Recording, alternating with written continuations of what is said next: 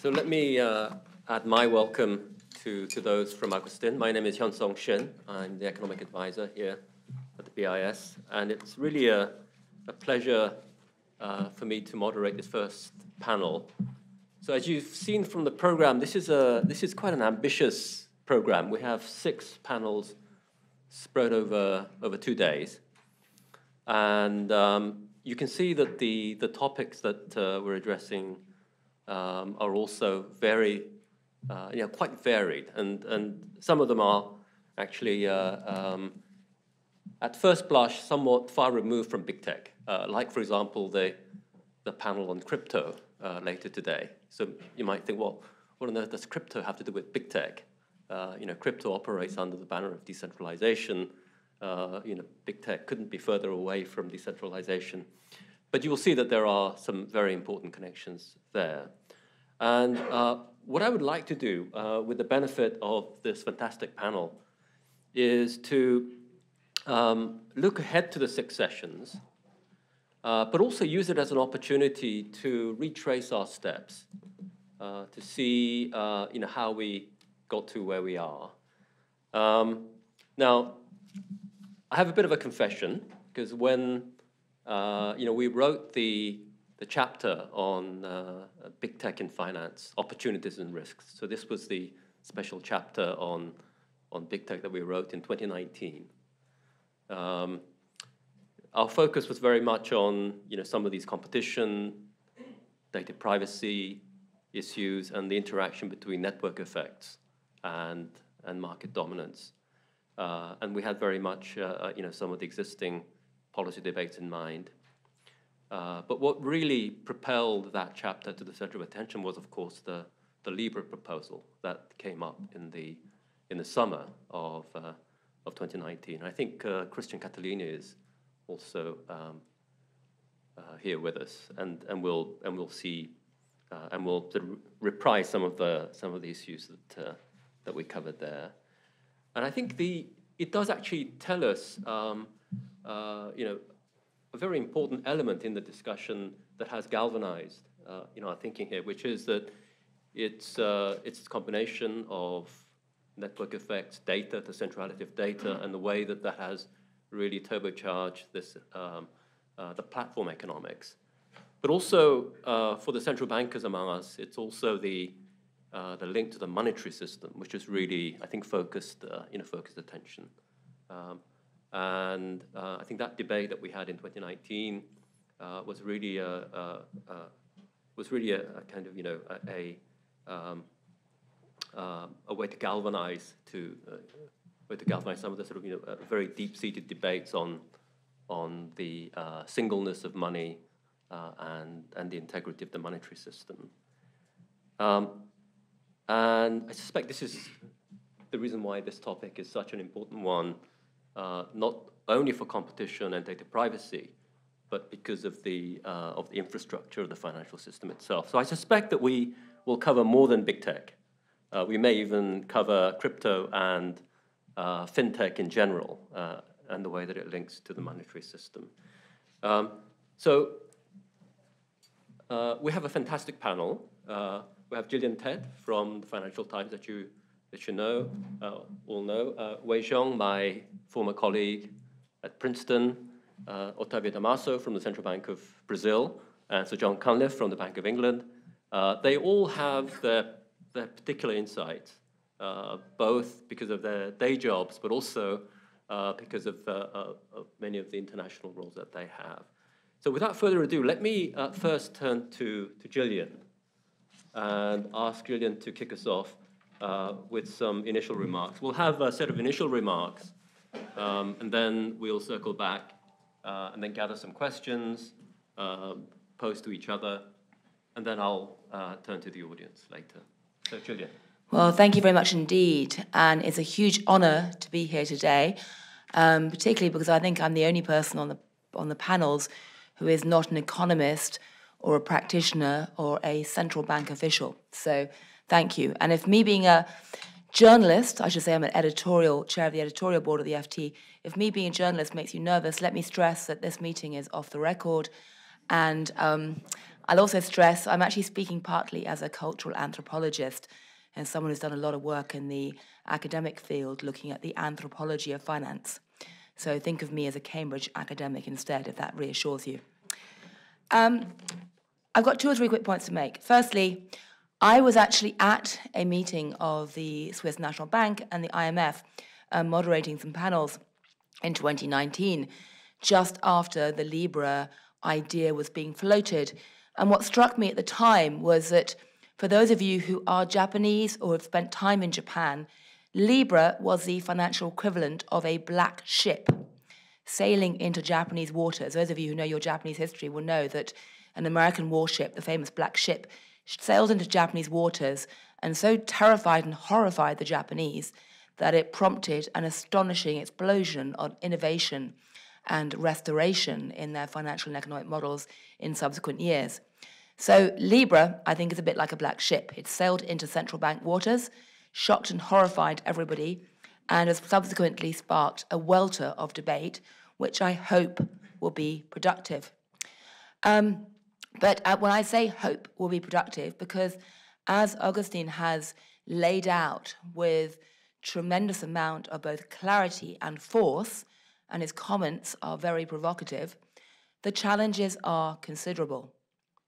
Now, looking at this with my FT hat on as co-chair of the editorial board, which means I sort of you know bring together the convene the brains trust of the FT once a day to thought, talk about these issues. There are a lot of very obvious structural questions. Um, we at the FT have written extensively about the challenges around tech. Um, essentially, they fall into three big buckets. One is the antitrust bucket, which has caused big tech to be fined over and over again, particularly but not exclusively in Europe. And although some big tech companies, particularly those like Microsoft, show signs of trying to learn from the past and behave in a way that's not going to provoke regulators, um, that is, remains a big challenge. Second big bucket, which Augustine referred to, is the issue around data and the fact that not only are these companies sitting on vast quantities of data. They are prone to sometimes data leaks. They're also prone to data abuse. And there's a real issue around privacy issues, um, made much more complicated about the fact that, as an anthropologist, I often say that although economists like to think that that word barter was relegated to the caveman era, um, in fact, we are currently living with the world's biggest barter trade ever seen in history, which is a wholesale swap of personal data for services. It's not barter in the sense we're haggling over the price, but it is a barter trade in, in the sense that it's not mediated by money. It's massive, it's unrecognized, it really matters, and it creates all kinds of issues. And the third bu- big bucket of issues is obviously around the fact that innovation is happening much faster than 99.9% of humanity understands. And unfortunately, that includes regulators and FT journalists. And that is alarming. Um, it creates a huge asymmetry, not just of information, but of understanding. So, those are the issues with my FT hat I would look at. But I want to briefly mention that there are a bucket of issues which, as an anthropologist, I'd point to as well to do with culture.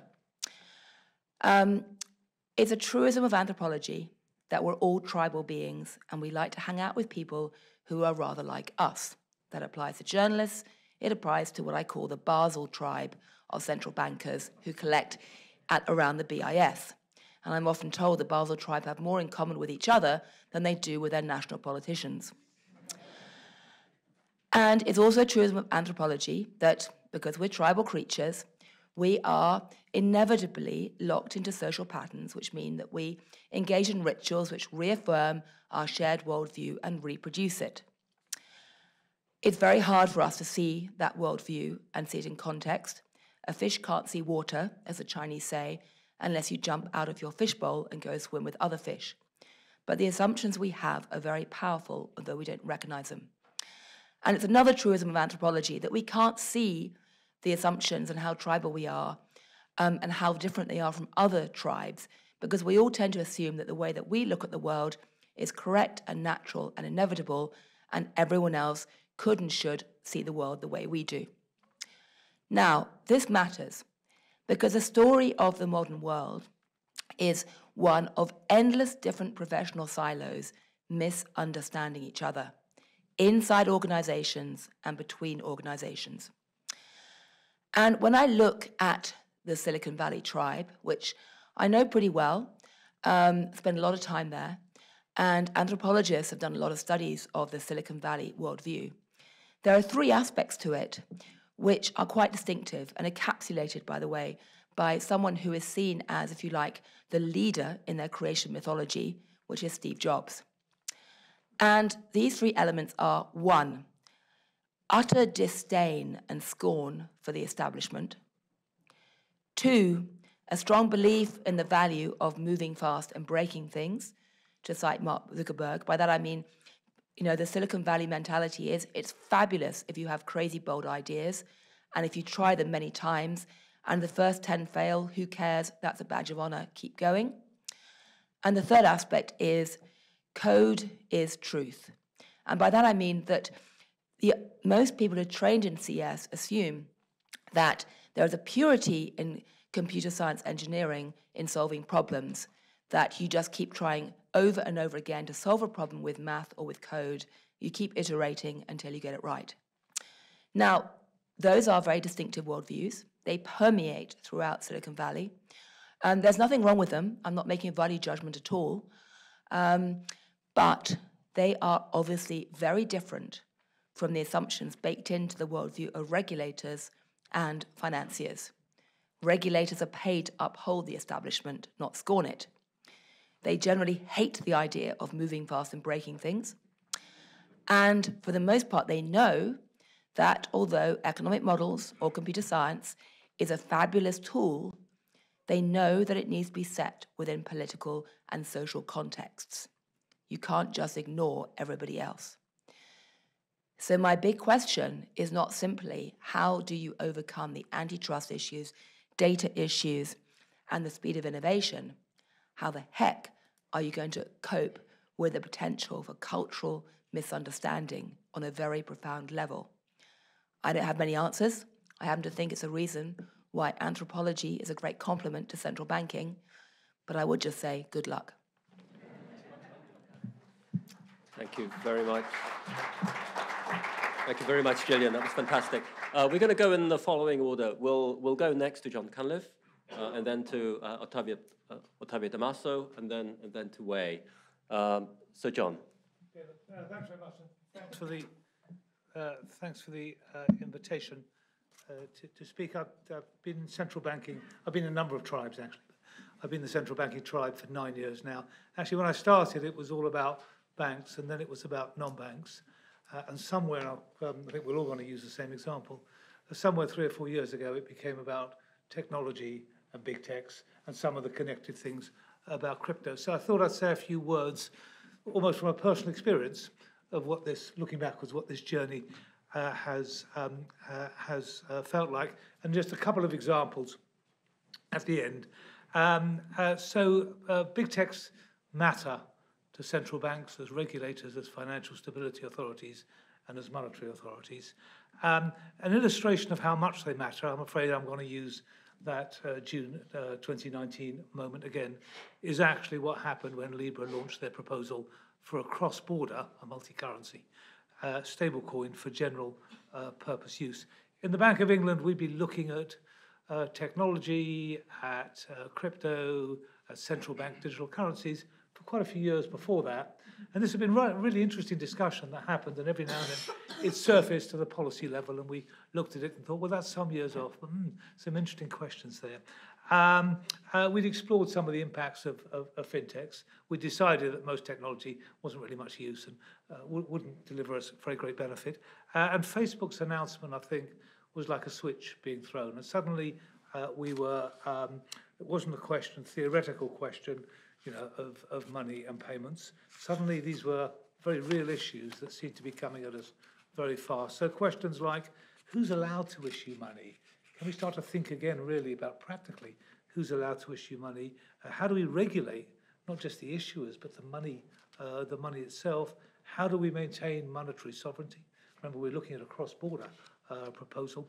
and actually, how do we manage something uh, which uh, might just be stateless, might just operate uh, cross-border? Because we didn't at that point know exactly how they were going to uh, locate it. And that was not just for the UK.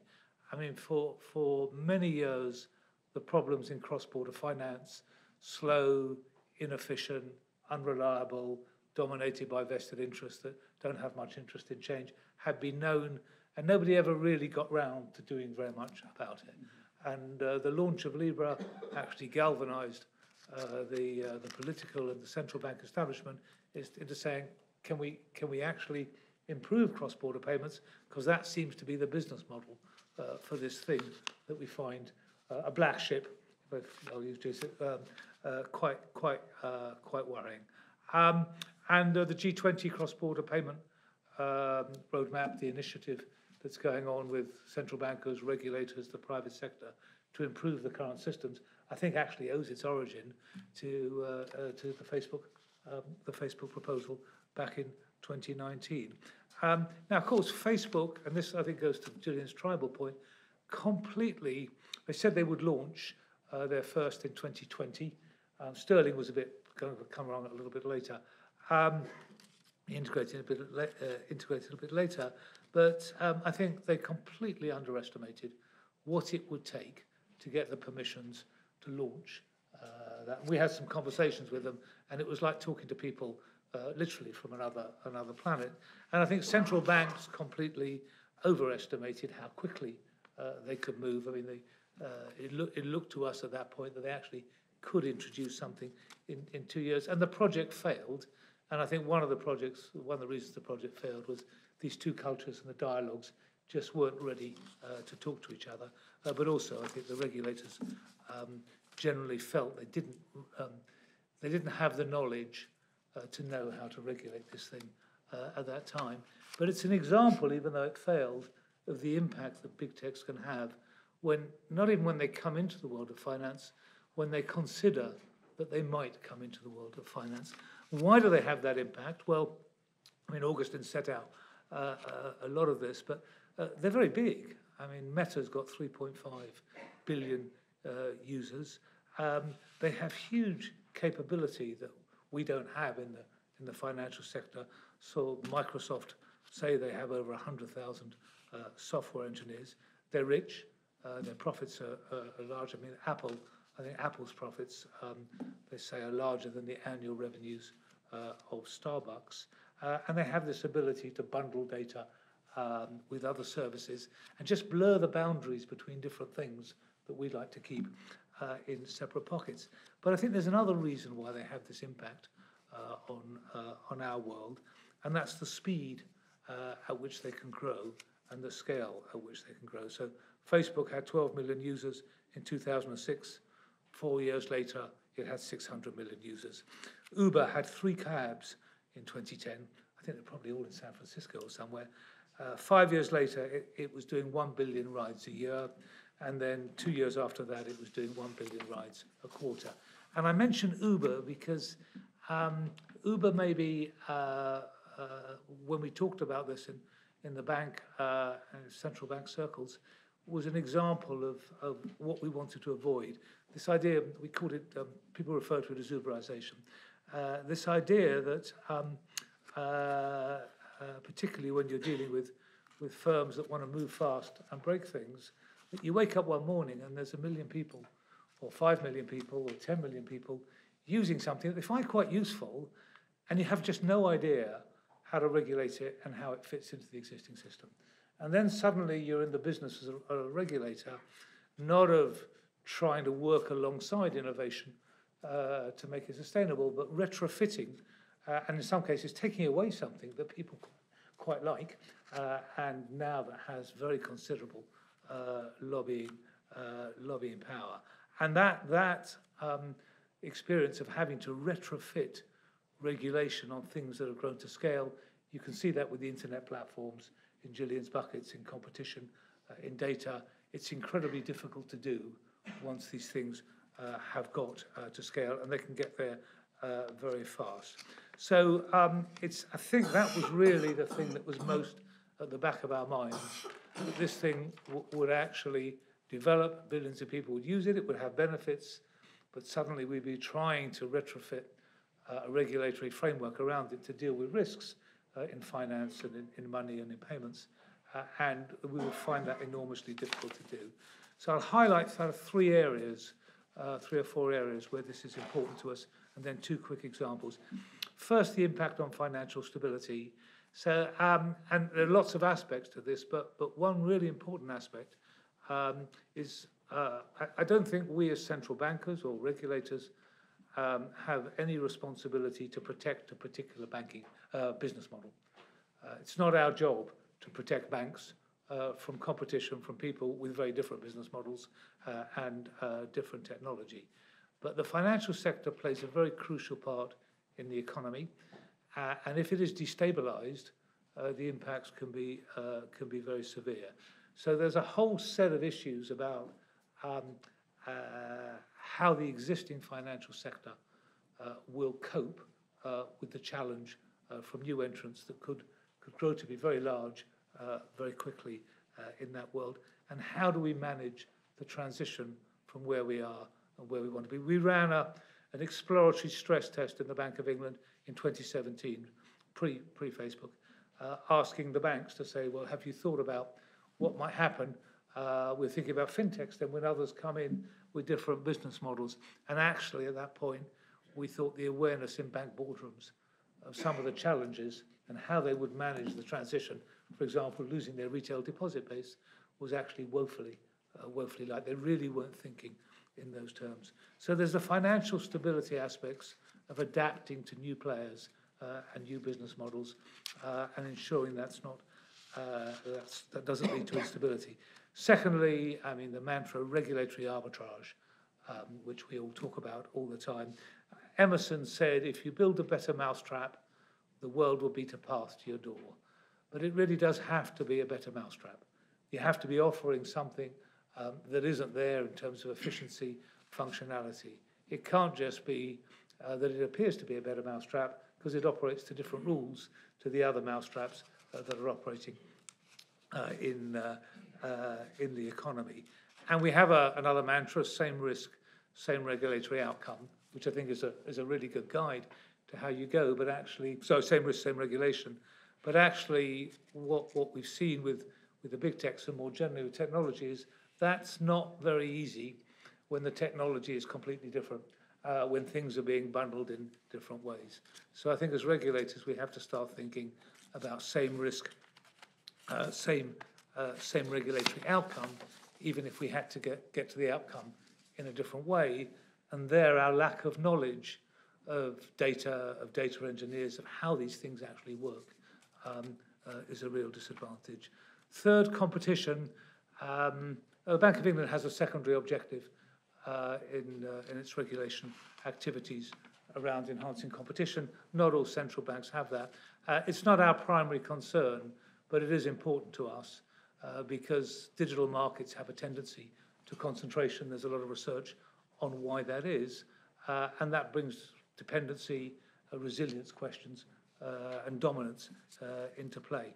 Um, and um, the last thing I'd mention on on this side is just the cross-border nature of this is difficult. It's taken us many, many years to work out cross-border governance of, uh, of um, global banks uh, and to an extent wholesale capital markets.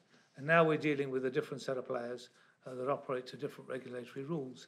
And just the, the, uh, the international community finds it very difficult to get its arms around that. You only have to look at just how much road mapping, scoping, overviewing the Financial Stability Board and others are doing. This is a group of people trying desperately to get their arms around this thing and think, well, how do we, how do we work together to set standards, which, as Augustin said, is, is crucial, but it, it, isn't, it isn't easy.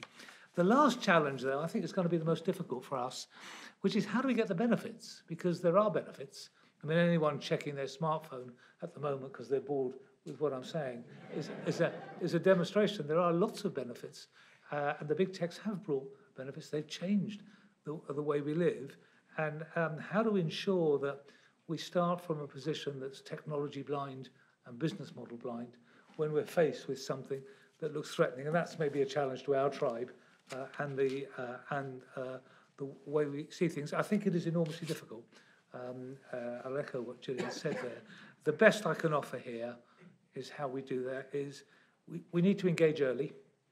We need to talk. And, and there is some evidence that the two tribes are starting to understand each other better, if only by the number of ex-central bank and regulatory sort of people who are being employed by some of the big techs, which has got a positive as well as a negative uh, aspect to it. I think we have to set up what we care about. We have to be very clear about the risks we care about and the risks we're trying to protect. Uh, we have to draw up broad regulatory frameworks. They won't be right, but we have to say, look, this is a, uh, where we see the framework of regulation. Here are some examples. Here are some, for instances, knowing that it'll have to be flexible and we'll have to change it because you have to at least give innovation the possibility of knowing what it has to innovate, what framework it has to innovate uh, uh, within. And um, we, uh, we should be flexible about how the risks we care about are managed and completely inflexible about the level to which they're managed. It's the level of resilience that matters, not the kind of how you get there. Although, as I say, uh, that's not, not easy. And just two very quick examples. One is cloud, um, where we're seeing financial firms putting more and more of their critical business uh, on the cloud. Big benefits, greater resilience, a way for, certainly in the UK, financial firms to deal with legacy systems that have been very difficult, uh, very difficult to modernize, efficiency, new functionality, but then the obvious concentration. Three firms provide 80% of the cloud services uh, in the UK. Question of how to regulate. Um, they're not financial firms. They provide services to the economy as a whole. I have to read Augustin's speech carefully, but I'm, I'm not sure it's possible just from the finance end to do group, uh, group su supervision. In the UK, we've decided on a partial model uh, now before Parliament, where we will, uh, where they provide services to the financial sector, they're required to be registered, we'll designate them, they'll have to participate in stress tests, we'll be able to set some standards um, and require information, but we won't actually supervise them per se. I think Europe's gone a bit further in that we want them located in Europe and we want to be able to supervise them per se somebody will explain to me what the US is doing uh, in this area uh, at some point. But I think these are regular. I mean, not there is a regulation of bank service providers, but it's not to me sure how uh, how this will be done. And the other is in payments, which is where I started all this. Uh, we issued our um, uh, our consultation document on on the Bank of England issuing a digital currency. Uh, we put that out yesterday. Uh, it's, it's a great read. I mean, I recommend it if you've got nothing to do for several hours. um, but one of the motivations we gave for um, uh, the Bank of England introducing a digital pound uh, is the concern that uh, if, if these new forms of money are developed by big players and we get concentration, we'll get walled gardens, fragmentation, and actually it'll stifle innovation and competition because in order to use a platform's money, uh, Libra or whatever, to use the example that didn't happen, or to use the example that didn't happen, you'll have to operate within their system. It won't be interoperable uh, with others because we can see the tendency in these platforms to operate in that way all, all the time.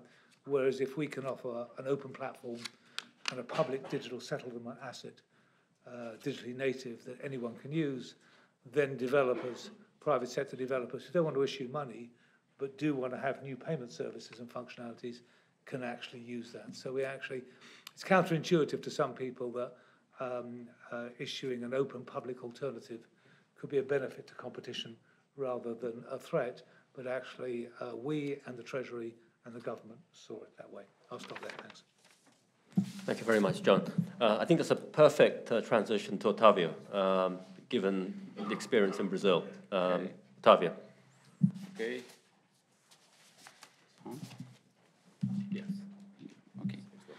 Okay. Good morning, everyone. Shin, John, Gillian, and Wei.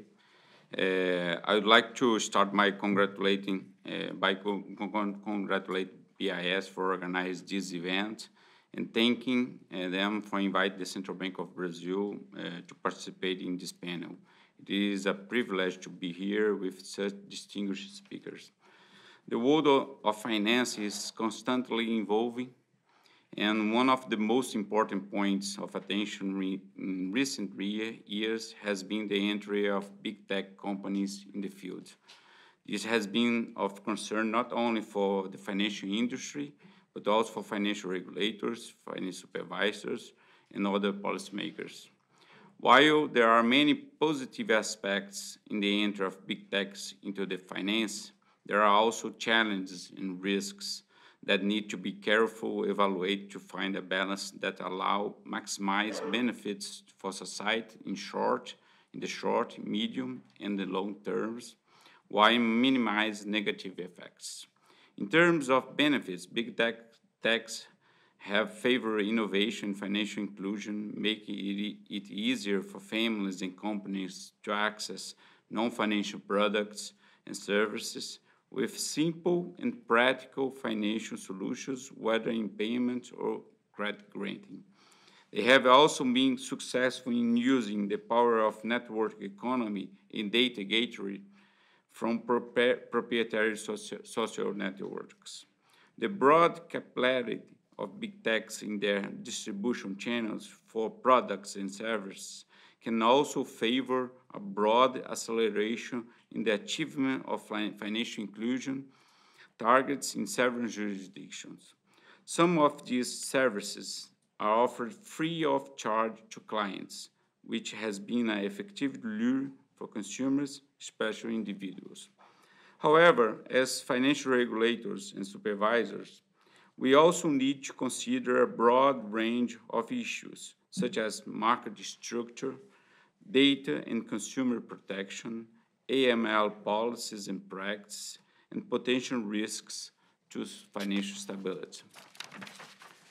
Our main goal is to set a regulatory framework that guarantees a competitive environment and prevents potential risks to financial stability. I would like to highlight these last two points, competition and financial stability.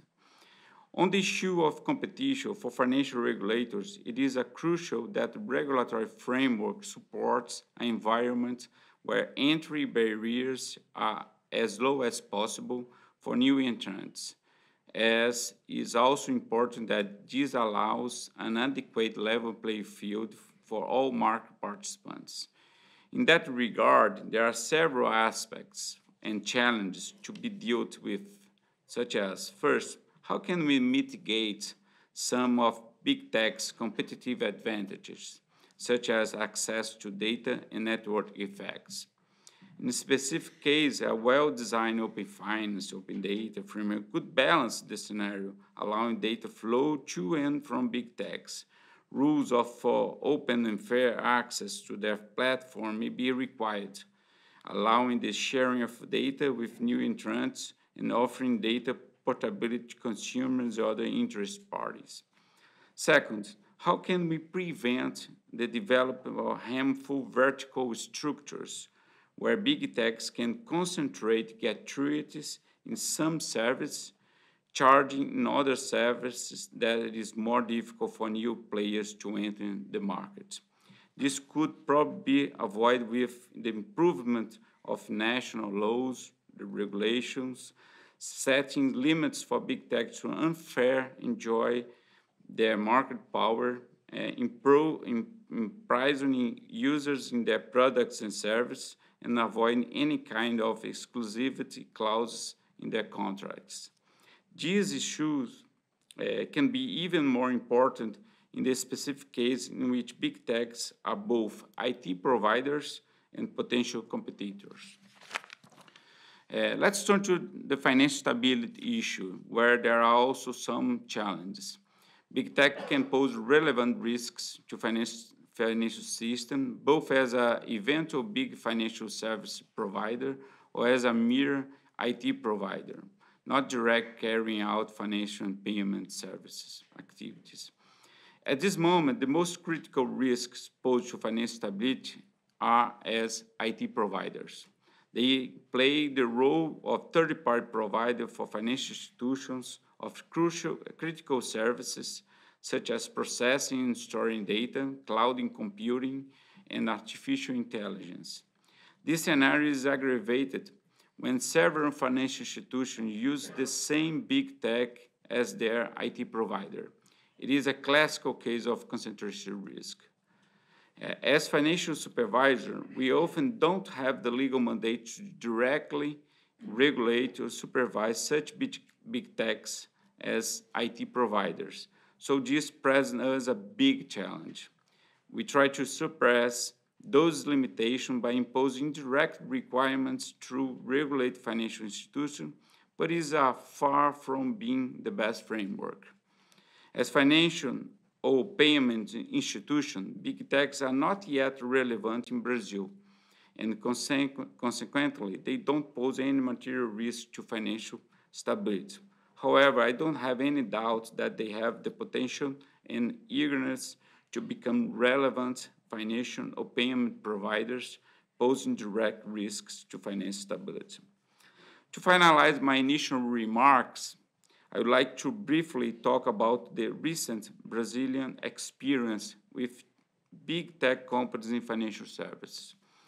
It is important to highlight the similarity in how big companies sought to enter two important segments of the Brazilian financial system, the fast payments and the open finance. In both cases, two features of these movements stood out. Building up First, building up a partnership with a single large incumbent player, at least in the beginning. And second, offering financial services indirectly without entering the regulatory pyramid or requiring the most basic kind of license, uh, also in the beginning. The main concern of the Central Bank of Brazil in both cases was the potential consequence for the competitive environment. Uh, in this context, in a nutshell, the remedy applied by the regulator and supervisor has been to demand that equal conditions be applied to all market participants, avoiding any kind of, uh, of exclusivity clause. The requirement let, be, let big techs come to consider redesign the original business models. So being done with my initial remarks, uh, let me tell you that it will be a pleasure to answer any Q&A questions. Absolutely, yeah, we'll, we'll definitely come back to some of these issues. Um, let's turn to Wei for his initial remarks, and then uh, we can pursue uh, one or two of these themes that have come up. Wei. Thanks, Hyun. Uh, it's a, a, great pleasure to be here. In fact, it has been a great pleasure to join the discussion at the BIS over the years. Um, uh, this is actually a, a, great time for uh, uh academia at uh, Princeton. Uh, the rise of big tech and the fintech is, as Gillian mentioned, a black ship to not just to, to the central bank, but also to academia. So this is a brand new potential for a very different financial uh, model. Uh, it's fascinating. Um, uh, talking about different tribes, I actually had uh, a pleasure also to join discussion uh, with another tribe. Uh, Jack Ma created a, a, think tank for digital economy a few years back uh, Uh, called the Luohan Academy. I had the pleasure to join the academic uh, committee there and, uh, and be involved in a lot of discussion about uh, uh, this uh, uh, black ship in China, actually, uh, by offering a wide range of financial services there. Ant Group also had stimulated a lot of fascinating development with the rapid rise of big tech lending there. Um, I had, uh, uh, with help uh, from Luohan Academy, actually, I've been engaged in a, research project analyzing some of the lending by Ant Group and compare the lending of Ant Group with uh, a traditional bank, a traditional uh, commercial bank in China. So I thought I would use uh, this, my opening remark to say a few things about what I see in, uh, from that research project. of course, many of you know that big tech lending uh, had experienced a very rapid uh, increase uh, in China, and Ant Group is a spearhead of this new development. Um, from this uh, data set, uh, I have been looking at basically it's a 10% uh, random sample uh, for lending by Ant Group with uh, this commercial bank. Um, this it's a syndication lending program. Uh, it's a very large actually data set, even though uh, the sample period has been short because this uh, new model has been only been operation for three years.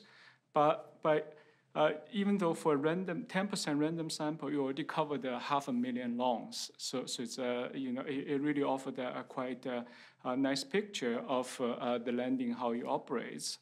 Uh, first, uh, I, I, want to mention uh, five patterns I saw in this data. First, indeed, uh, a lot of financial inclusion, uh, a lot of lending uh, was to borrowers with limited, if any, access to traditional bank credit. Uh, in fact, actually, half of the borrowers uh, in this sample actually uh, had their first business loan uh, uncollateralized business loan uh, from this lending program. So in that sense, sort of this uh, is a sort of entry for them to get uh, uh, uh, uncollateralized bank lending or credit credit services. Um, and secondly, um, risk uh, is not uh, high despite uh, lending to uh, this uh, group of uh, usually we regard as sort of uncertain borrowers right? And in fact, actually, risk has been a key concern. As you know, uh, Ant Group's uh, uh IPO a couple years ago uh, was suspended largely because of concern about uh, potential risk uh, in these services, right? So that's why I, I, I was quite, as a first question when I, I, I got the data, uh, was want to uh, figure out how much risk uh, actually is in this sample of lending app sample of loans uh, uh, to, to this uh, set of borrowers. Um, by compare uh, the two set of uh, loans, right? So big tech uh, loans from Ant Group and and and traditional loans from this commercial bank. Um, roughly, its risk is a little bit higher by the loans from big tech Ant Group. But, but it's important actually to look at the borrowers. Half of loan, roughly half of loan are to what I mentioned, uh, first-time borrower, uh, uh, first time getting uh, this uh, uncollateralized uh, business loan. among the first-time borrower, risk is indeed higher, actually about double the level, okay? But immediately after the first loan, as long as any borrower had paid off at least one loan before, then risk is almost the same compared to uh, uh, the, the, the uh, traditional bank borrowers, basically there's no difference, right? So in that sense, actually, uh, the picture is quite uh, encouraging just from this risk point of view, right? So, you know, of course, uh, you know, offering the first loan to any borrower, the risk is going to be higher. And in fact, this is sort of very good to know that actually this is happening. But, but this, this immediately after first loan, risk came down. Um, the third uh, uh, uh, observation I want to uh, highlight is uh, interest rate. Uh, the interest rate in this set of loans, big tech loans, is higher, on average 14.6% annual, uh, which is about 5.6% higher than the, the, the, the, other traditional bank loan. So so in that sense, uh, this service, of course, uh, especially sort of in terms of cover all these uh, uh, uh, uh first-time borrower, right? So, so there's a cost there, interest rate cost, right? Okay. And the fourth observation I want to mention is a fast repayment. from the sample I saw, payment is very fast. On average, a borrower of this big tech loan program repay their loans uh, uh, at about, on average, 46% of the loan maturity. That means for a loan of one year maturity, on average, borrowers pay back in five months. Okay, and in fact, actually, if you look at the distribution, uh, uh, uh, uh, half of loans are actually paid off within three months. So, so in that sense, uh, this is very different from uh, the, the traditional uh, bank lending. Uh, borrowers tend to hold their loan to the end, okay? Uh, of course, this is not surprising because the higher interest rate, right? At this interest rate, uh, a borrower won't want to keep their loan for too long, right? Um, but the fast repayment also reflects another important aspect. That means that uh, these loans are not used as uh, uh, uh to finance uh, long-term uh, projects, right? They're used more as working capital to cover the borrower's short-term liquidity need rather than their long-term financing need, right? So, so this is important because this actually uh, highlights something potentially important about the business model for this big tech lending program. instead of covering uh, borrowers' uh, uh, long-term funding need, right? So it's more aimed at covering the, the short-term liquidity need, right? Uh, finally, I also want to mention actually uh, in the, uh, the loan sample, so there's also a small set of borrowers actually also had access to regular bank lending, Okay, so in a sense, this is an overlapped sample. Uh, this is a set of borrowers potentially uh, this big tech lender need to compete uh, with uh, traditional bank for. Okay, uh, you would uh, expect this set of borrowers, which are potentially higher quality, right, to obtain better term, right, have higher credit limit and lower interest. But that's actually not what I see. Uh, in fact, actually, uh, this set of overlapped borrower almost got the, uh, the same terms as the other borrowers, right? So uh, uh, also 5% uh, higher interest rate, and also they pay back their big tech loans very quickly, right? So, so this suggests actually, um, at this moment, uh, the, this big tech lender is not actually directly competing with traditional banks, even for the uh, marginal borrowers. So they're using the same uh, model. Uh, uh, they charge a high interest rate, uh, aim to help the borrowers with their short-term financing need. And of course, why would this borrower want to take this loan, despite having actually cheaper traditional credit services? this is potentially related to the convenience, uh, uh, Uh, uh, uh, you know, uh, the, the big tech platform, as earlier uh, Panasol mentioned, that network effect and the convenience of building to the system is very helpful to use it very fast. so that they're willing to use it despite the higher interest costs. But nevertheless, actually, uh, despite of the, all of this, I think we observe a very nuanced picture here. Uh, uh, this big tech lending program uh, indeed helped with financial inclusion by offering first loans to many of these borrowers which had lacked access to traditional bank credit. but at the same time, this, this, the, the, we also see that uh, uh, the big tech uh, lender is not actually aiming to uh, uh, Uh, uh, their advantages in some sense are, are specialized, right? right? Their, their coverage actually, uh, even though the data is powerful, it covers a lot, but uh, their coverage seems to be specific to certain uh, need. Of course, we know uh, uh, Ant Group leveraging on its very powerful payment system, right? It knows a lot about um, a lot of users' short-term cash flow, right? So how much they're coming and how much they're, they're, they're going out and all that.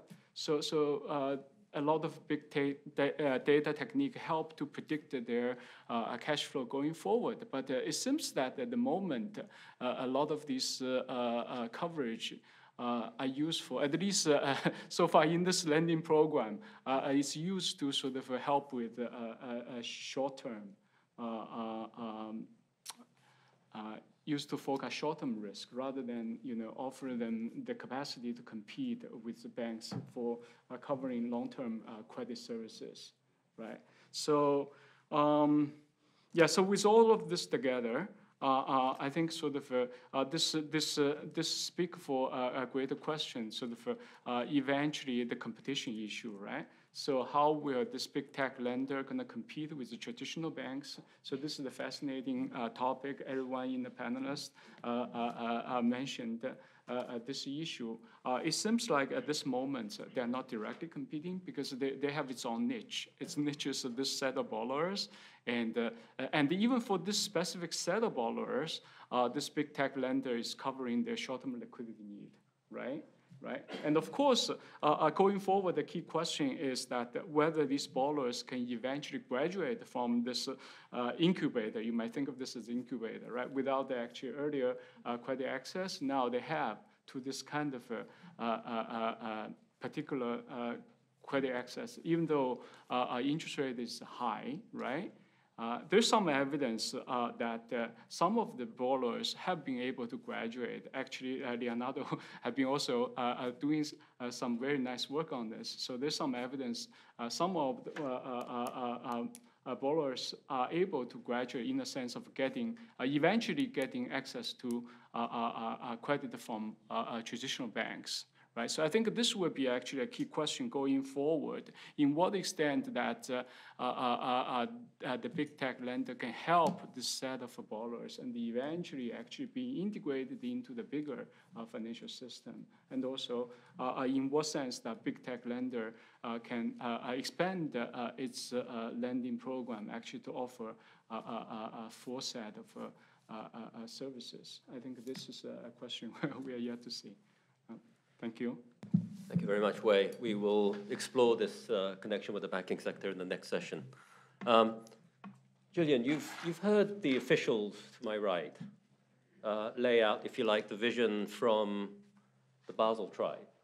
Um, and the focus has been on regulatory outcomes, uh, if not necessarily regulation as such, but it's a regulatory outcome. It's, we're thinking in terms of the optimal allocation. It's a mechanism design problem. It's a very, uh, if you like, a directed engineering type of approach.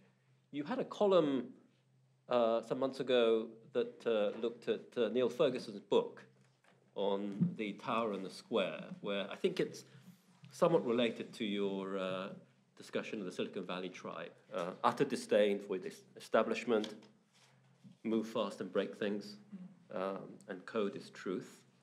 Um, so, you know, wearing your anthropologist hat, um, why don't you share some thoughts on what you've heard from from my right, and how does the crypto discussion fit into the the big tech debate, and in particular, uh, some of the things that we'll hear later. Um, I think stable coins are, I think, a very interesting manifestation. Mm Right. it's really sort of uh, many of these things are are are, um, are going to uh, you know converge. So, Gillian. Well, thank you very much indeed. Um, I think my role here is to make everyone feel very nervous, because I'm basically you know look as if I'm peering at everyone around me. Um, and by the way, apologies for being husky and sound like a French jazz singer. I've had a bit of a chest infection. Um, I've got two points to make about the way that Western society is developing today which I think are very important to think about in relation to the role of central banks and regulators. The first point is to do with trust. Um, anthropologists used to say that there were two types of trust that glued societies together. You either had face to face relationship, direct relationship based trust, which operated horizontally in small groups who kind of all knew each other and trusted each other because they were face to face. Or when groups became big, you had essentially vertical trust where people trusted in a leader or an institution. And that was very roughly the models that you know, anthropology used. The 21st century, courtesy of our iPhones, has created a third type of trust. And I don't think people have thought enough about the implications of that, which is distributed trust. And that is huge groups of people who trust each other in a horizontal way by virtue of tech platforms.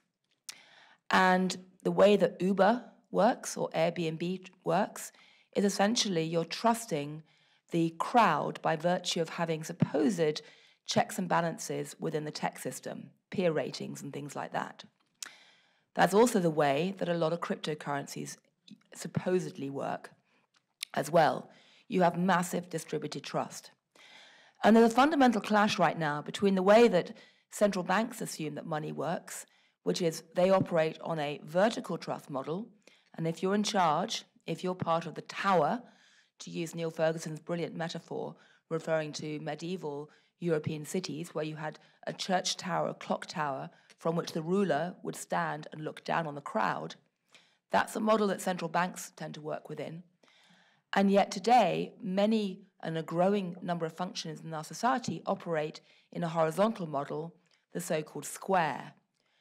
Now, Niall says that historically, power has oscillated between the square, the crowd, and the tower. Um, I think that's probably still true. But I think we need to recognize it in the world of finance. There is a fundamental clash going on. And if we don't recognize it and think about it, central banks will end up talking to themselves. The second big issue is around the relationship of self and society. 99.9% um, of societies in history have viewed the individual as essentially fitting into the group. Um, you know, they were a cog in a bigger social machine. Um, then, courtesy of the Enlightenment, um, a development occurred in Western Europe initially, which culminated in the 20th century of the individual thinking that they were at the center of their world. It's almost a Copernican shift, the me generation. The 21st century has actually developed a new modification of that, again, because of the iPhone, which is extreme customization now seems normal. We use our phones to customize everything in cyberspace and by default, we think in the real world. You know, whether it's our coffee choices, whether it's our music choices, whether it's our media choices, whether it's increasingly our political choices, and I would argue, our money choices. Generation C, generation customization, Generation P, generation playlist, pick a mix if you like, takes it for granted that we all are supposed to live in our own version of the matrix and customize everything around us all the time.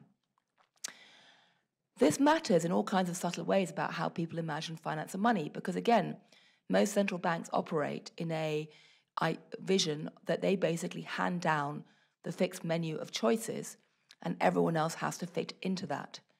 They live, if you like, in a world of vinyl records where someone gets to choose what's on the record and present it to people. And most of the public are living in a world of playlists where they think they can pick and mix everything all the time. It even infects, I'd say, how people imagine wholesale financial markets. I mean, I was chatting to someone uh, yesterday, earlier, about the fact that in the world of treasuries markets trading, for example, um, you used to have old fashioned relationships, which drove a lot of the trading. Um, now you have no relationships, you just have collateral based, anonymized trading, pseudonymity, if you like. Um, and that's something which seems very odd to people of the older generation. It doesn't seem so odd to people who are younger and living in this popular consumer culture world.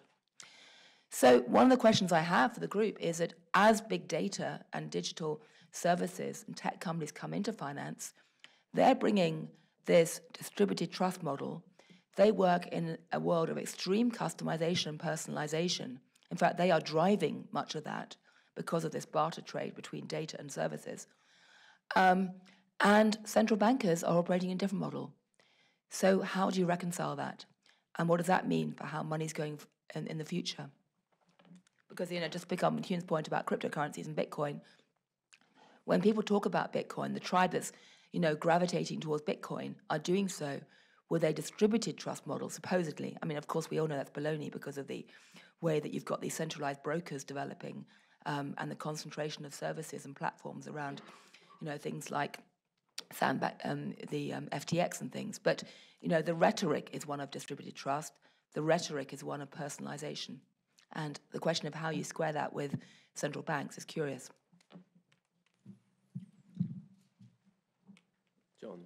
Um, maybe, uh, I think this. Uh, you can turn to John to provide the answers. I'm just paid to ask questions. Well, maybe, maybe I can kick off and, uh, and, and you can complete the argument. I think, um, uh, and absolutely, absolutely. and Otávio will also, uh, you know, tell us about PIX and the and and I, I, think, Gillian, you've made a brilliant uh, sort of, you know, you've, you've given us a brilliant challenge on, on exactly the, the topic that we should be really uh, you know, uh, drilling into. Can I just can I say one other quick thing while John is thinking? Um, I'm being kind to you, John. Um, it's worth stressing, also, by the way, that norms change. People sometimes think of culture as being like Tupperware boxes. It's kind of sealed and fixed, and you can stack it on top of each other um, in a hierarchy of value. It's not like that at all. It's a river, slow-moving river that constantly changes and moves, and new streams come in. And just a one tiny example of this, which matters for financial services enormously. Um, a few years ago, Intel asked a bunch of its anthropologists to go and study the difference between Chinese and American attitudes towards facial recognition technology. And they discovered, surprise, surprise, that Chinese were already adopting facial te recognition technology to a large degree in banking services, as Wei knows. Um, and at the time, this was all of four years ago, the Intel team thought it was completely unimaginable that Americans would ever accept facial recognition technology because there were constant shrieks in the media about how evil facial recognition was. Well, fast forward to today, and guess what? A very large number of Americans are quite happy using facial rec recognition technology on their phones without a murmur of complaint. So, attitudes to what is normal change rapidly. There's a lot of cross border borrowing going on. I can see some of you looking at your phones. Um, and we can't assume that this is going to stand still. So, John, I think um, if we you know stick to the singleness of money, I, I, think one of the sort of you know uh, and you know this would be my uh, you know my answer to Gillian. Uh, you know one of the great triumphs of our monetary system as it stands uh, and tried and tested is that it's uh, you know whether you have a banknote or whether you have you know one pound in your in your account, it is the same. It is the same money. We don't really think twice about an exchange rate, you know, between those. And uh, you know, this has really uh, been a way to uh, uh, to really sort of knit together the whole monetary system, the whole financial system, and the way that you laid out the digital pound, uh, I thought was a very sort of compelling case for taking that, you know, to the digital age. And I and I guess um, the example of Pix in Brazil is another shining example of how uh, the benefits can be can be reaped, you know, in that uh, in that regard. So um, if you sort of amplify on that and uh, and also you know give us some some additional food for thought, that would be great, John. Um, one of these works. Yeah, I was, was going to agree with one thing and, maybe disagree with another that Gillian said. Uh, and I'm not an anthropologist, although in the end, to understand money, I think you do have to understand kind of how we conventions that we have and what we accept. The thing I would agree with very strongly is we are in a world, uh, central bankers and regulators, where we think that people access financial services through a thing called the financial sector. And it's clear that there's a group of people growing up now who don't access, don't think about, just don't think about those things. In that I need financial services, I go to a bank. You know, I need, I need um, butter, I go to a grocery store. Everything is, is kind of bundled together and moves in a different way. So the kids buying Bitcoin on their phones in the playgrounds uh, in the UK, and there's quite a few that seem to. Yeah, I don't think, oh, I must make a financial services investment. How do I get onto a platform? It's part of their social media and the like. And I think we are, um, that's going to be a struggle for us, just, just understanding that the, uh, the things that financial services provide come through different channels. On the money question, I think um, we're, going to face this um, uh, distributed trust issue when somebody asks us whether they can use the permissionless blockchain for, um, for verifying ownership of money uh, and the like, and are we comfortable with it? Um, but the thing I'd say about money generally, because it's um, there's so many different ways in which um, society can agree on a convention about what is accepted to settle an obligation. That's in the end what we're talking about. Um, and sometimes there's nothing behind it other than the social acceptance. Sometimes there's something behind it, like, well, the state can make you pay taxes, and this is the thing that they would accept, which is one of the theories about how, um, uh, how modern monetary systems grow. Um, it all works fine until the day it doesn't. And the point is, is not whether people will prefer different types of money. We hand down one type of money and we say this is safe, and if you issue money in the UK, you have to show us that you can meet that standard. Um, uh, it's that people would use other things until the day that they don't work. And the thing that takes that stops the working, and I don't can be triggered by different things, is when the trust and the confidence of what's behind it, be it an institution, be it a kind of set of assets that represent some some value in society, when that confidence breaks down. And once it goes, it goes, you know, it's not, it's not, doesn't half go. It sort of goes completely. And these are the kind of runs we see. We've seen a bit of that in the crypto world um, uh, uh, at the moment. So I think there will be other forms of money and verification mechanisms that use distributed trust rather than use kind of um, centralized intermediaries to uh, public sector or private sector to do it for that. But it's really important that the thing that is accepted as the, the settlement asset uh, in society and the way you store your settlement assets so that you can kind of cash them in today or, or hold them tomorrow actually has something behind it that people have confidence in. And I, I don't, and maybe I'm just too far up the tower to, to see it, um, but I, I don't see that changing. And we've actually seen very different forms of money with very different things behind them, kind of over, uh, over centuries. But you come back to that once, yeah, there has to be something behind it. Look, if the confidence in the state goes, then the confidence in the state issued settlement asset goes, and there's plenty of examples of that as well. So we're not the only way. Um, but I think conventions that turn up on the internet or in the crypto world about, well, somebody else accepted this so that I can accept this and it'll work, I think those things are quite fragile actually. And the state has to be quite careful that they don't get to systemic scale because if they do get to systemic scale and then fail, um, you, you can get sort of huge economic and actually societal problems. We're only on the first floor of the central banking tower, so that's some encouragement. And Tom, while you still have the microphone, It microphone, all happens on the 18th. Jim. you'll see that later. But while you have the microphone uh, still, John, um, you, you touched on a very important issue during your uh, initial remarks, which is the international cooperation. Could you expand on that a bit and uh, uh, what would be the outlines of that uh, international cooperation? Um, so, right across this whole, I mean, this is more than big techs. This is right across this whole field of new players, new technologies, changing, uh, changing existing ways.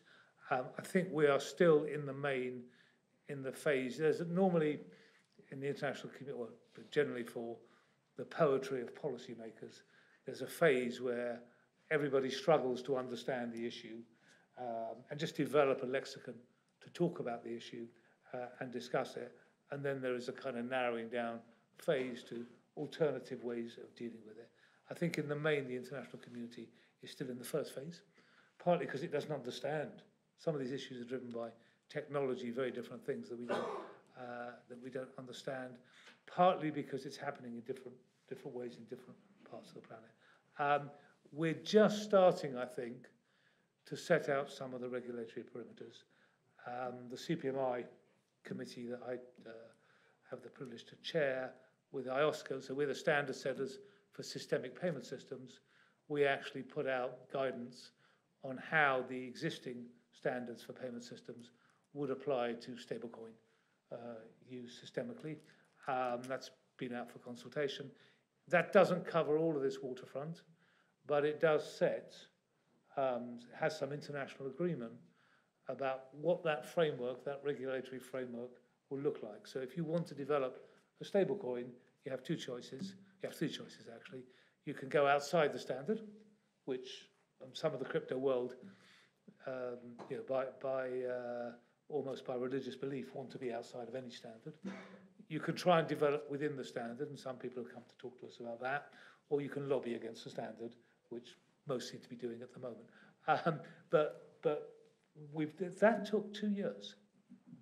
Uh, and one of the most, one of the other reasons I think that the, the inclusion, uh, exclusion models that Agustín was talking about, one of the things you have to do is say, how do I deal with this in the conventional world? How on earth do I then port across that objective, that regulatory outcome into, into this world? which is why I think the extension of standards to deal with this has to be anchored in what we do elsewhere, otherwise you'll get regulatory arbitrage.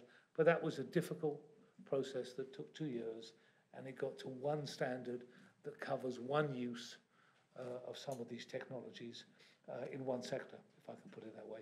So it is, it is a kind of huge job. But um, uh, the, the, the encouraging thing, I think, is just the amount of attention that's being given to it. Otávio, um, Brazil's PIX has been a, a, really shining example of exactly this kind of uh, um, the um, interoperable uh, and open system that, uh, that's really opened up uh, financial services of a huge chunk of the population. Uh, Two thirds of the adult population now are, are using PIX. Um, you also had a had some interactions with a big tech around about that time as well. And I think it, it could have gone in, a very different way at that point. Tell us um, uh, some of your experiences surrounding that launch. Okay, excellent question. Uh, first of all, uh, we need to understand uh, how we reach the PIX. Uh, I think in 2016, 2017, uh, when we are in the process to decide to implement a fast payment in Brazil, uh, we look look to other international experience like China, and we see a duopoly, and we didn't like. We look, look to other experience here in Europe. We see some kind of uh, uh, big banks arrangement that that has many barriers to enter new entrants in the fast payment arrangements arrangement. So we decided to, to, to bring the, the basic, basic solution to the Central Bank of Brazil and give uh, the, the same condition for all participants in the market.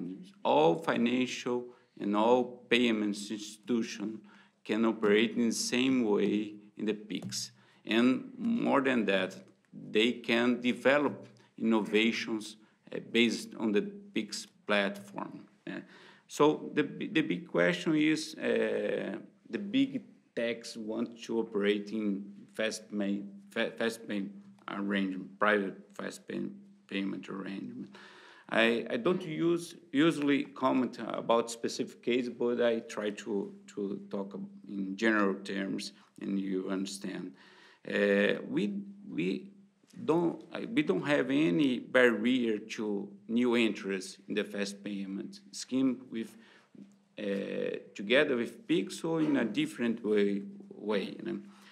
But in the license process, we analyze uh, multiple, multiple factors uh, regarding the business, business model that the big tech is proposing.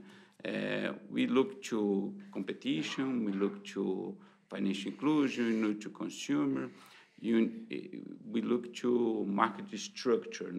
So in some case, we identified some uh, harmful uh, business model, and we required the big tech or big bank or any any kind of um, demand institution to adjust the, the business model to uh, avoid this specific uh, problem that we observe.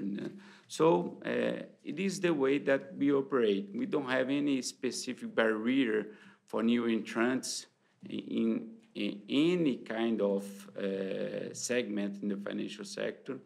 Uh, we understand that we need to give the society and multiple ways to do the transfer of money and the society will decide what is the best one for doing in specific time, specific, specific amount. You know?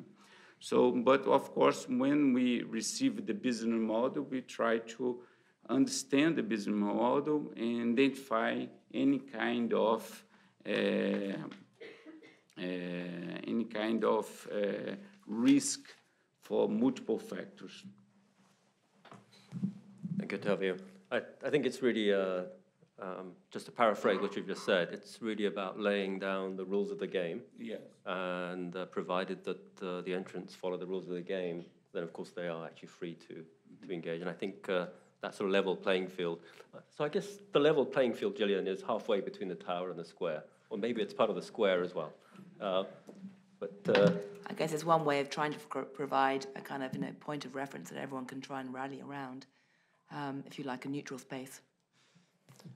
And Wei, um, I think what you described is a really interesting case where uh, you know you, of course, you know, data and um, your you know data trail really is the essence of finance in some way. And if you have no public records or balance sheets that you can actually take to the bank, um, having a data trail of your activity could be a very valuable asset, even for the for the borrower, let alone for the lender. And I think what you've said really is a very good illustration of that. Um, how would you um, think about the, the future sort of competitive landscape? If we can build on what you have learned, which is that uh, by making services accessible, you can actually create the data trail, which will then be used to uh, allow them to access conventional financial, um, the conventional lenders.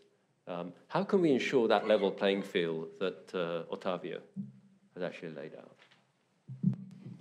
Right, uh, that's a, a, fantastic question. I think this is the central question uh, because uh, the rise of big tech uh, is already there. so, so then how to integrate uh, big tech companies uh, with other traditional financial institutions is the is likely the future, right? So, and data is indeed the key element here. Um, for big tech companies to tap into their existing uh, platforms, right, uh, which already covered a lot of data, about their users and uh, leveraging on their uh, existing data to offer financial services uh, uh can be uh, uh, very helpful in terms of social welfare. And from the sample I saw, there's already a benefit, a large benefit already there, right? So for this group of borrowers who, who lacked that before.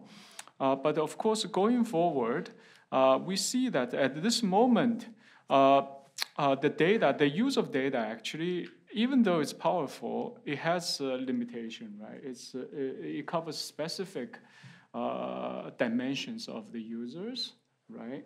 And by offering them uh, uh, services, financial services, uh, particular credit based on the existing data, generate additional data, right? And, and, and now the question is, how to make sure uh, we don't create a new monopoly, right? Uh, uh, which actually can trap the set of borrowers in this uh, uh, current lending, the big tech lending framework. That's that's the challenge going forward. I think. that's why actually it would be great actually to allow a credit rating Uh, uh, uh, from these big tech lenders because they already have very important useful services there. this data um, can provide uh, additional uh, credit information, and this uh, credit rating they can provide can be very helpful for these borrowers to obtain credit from other lenders. And, uh, and in that sense, this is a very important uh, uh, data sharing that could actually be quite helpful. And how to standardize this kind of uh, rating and integrate that with uh, a traditional rating system. I think that is, and also potentially actually uh, make sure because a, very important part is the data trans to make sure the data is portable, right? you know, of course, there's so much data in the big tech uh, uh, uh, platform, and you know, forcing all the data to be tra transferred out is infeasible and probably not necessary right? So to create sort of a few key instrument, uh, credit rating being one of them, but potentially other as well, right? Because uh, thinking forward, that other kind of services can be offered as well, not just credit, right? So, so then uh, I think to, to, to, to create a, few, uh, I think a, lot of uh, uh big data techniques can be used, but, but how to standardize uh, uh, the, the, the, uh, uh, the, the, the index creation uh, uh, uh, will be the key. And of course, sort of echoing to sort of uh, uh, another uh, important uh, development, uh, uh, uh, open bank.